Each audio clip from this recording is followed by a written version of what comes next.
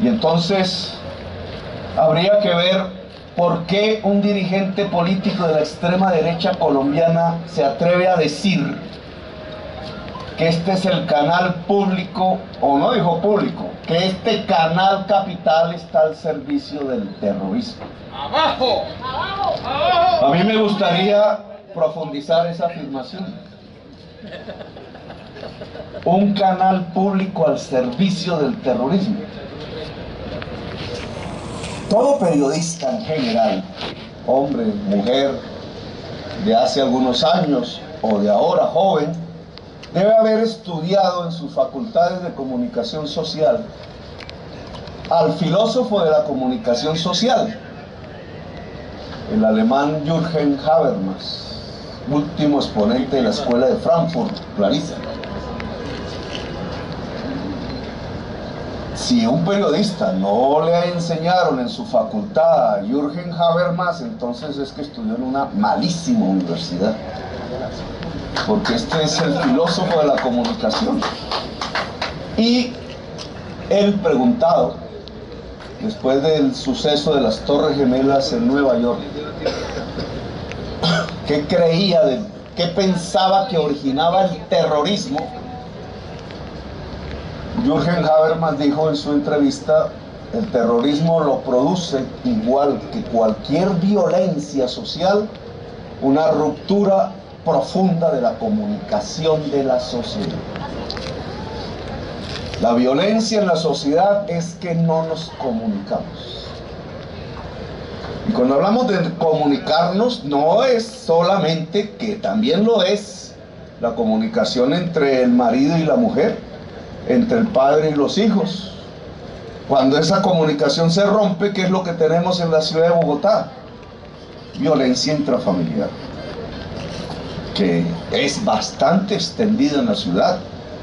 Cuando los jóvenes están en los barrios populares sin espacio público y llegan a los 15, a los 16 años y quisieran salir a correr, a divertirse, a conocer el mundo como cualquiera que llega a esa edad, muchacho o muchacha, y encuentran es un muro sucio, sin espacio público, sin comunicación que surge en el barrio popular.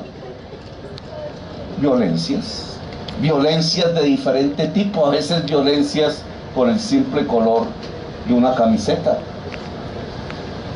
Cuando una sociedad entre sus grandes sectores sociales, a través de procesos históricos, observa que se rompen las comunicaciones entre pobres y ricos, entre el campesino que está allá en el páramo junto a la selva y el ciudadano urbano que transita en un bus o el que viaja a París a almorzar simplemente o el gran propietario de medios de comunicación, ¿qué es lo que se produce en la sociedad? Violencia. Jürgen Habermas decía, refiriéndose a Nueva York, la caída de esas torres es la ruptura de comunicación desde hace décadas entre el mundo anglosajón y el mundo islámico. No se entienden, no se hablan, no hay nada que intente acercarlos para saber de una parte cómo piensa el otro y de la otra parte cómo piensa el uno. Y terminan en uno de los peores conflictos que hoy la humanidad presencia. Lo mismo podríamos hablar entre israelíes y palestinos. ¿Acaso no hay un muro que nos divide? Pues ese muro que nos divide se vuelve violencia porque es la ruptura de la comunicación. Y entonces cuando venimos a la frase famosa de este dirigente político que no creo que haya estudiado a Jürgen Habermas,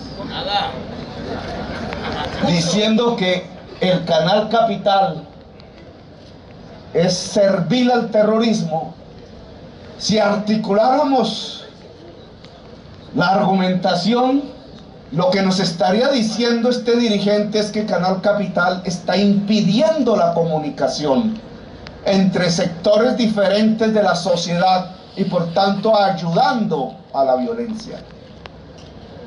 ¿Será así o será lo contrario? Porque la filosofía del canal Capital ha sido al contrario, hacer que suenen las voces que jamás se escuchaban.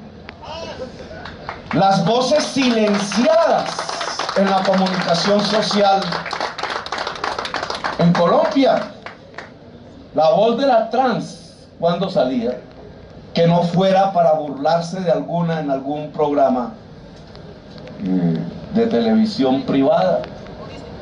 Cuando salían las voces reales de la juventud popular de la ciudad de Bogotá.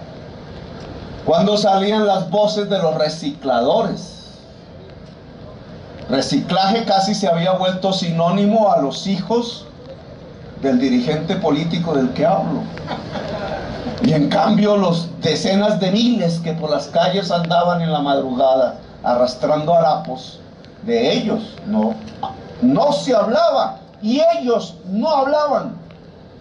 Y cuando se oían las voces del campesino, y cuando se oían las voces del trabajador humilde, del ciudadano del común, pues escuchar esa multiplicidad de voces de todos los colores, una polifonía democrática, o lo que yo llamo una democracia multicolor, es precisamente poner en comunicación a todos los actores de una sociedad. Y eso no se llama terrorismo, eso se llama paz. Según Habermas.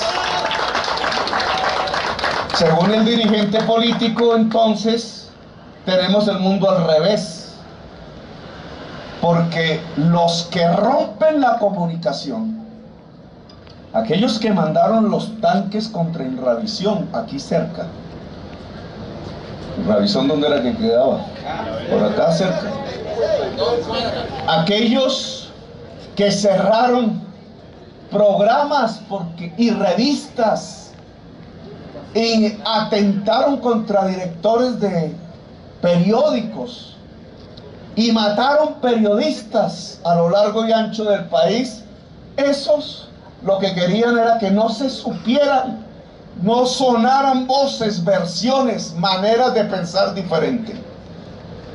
Los silenciaban, los masacraban. Esos eran los constructores de la violencia y del terrorismo en Colombia. Y ahora este dirigente político lo que pretende es silenciar Canal Capital,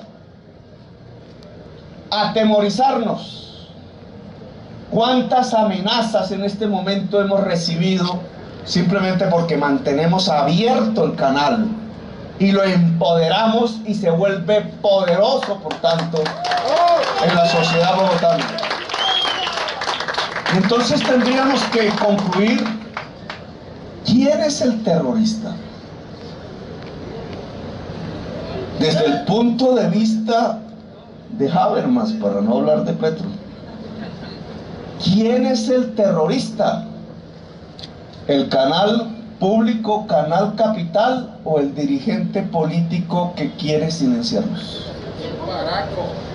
¿Quién será el terrorista si el que construye comunicación social y entendimiento entre diversos y diversas, o el que no admite una manera de pensar diferente a la de él mismo y cree que todo el que pueda pensar diferente al mismo solo se merece el exilio, la cárcel o la muerte. Me parece que hay que decirle a ese dirigente político, señor Uribe, acérquese a la paz, entiéndase con nosotros, entiéndase con la diversidad y no caiga en las arenas movilizas y terribles del terrorismo. Gracias.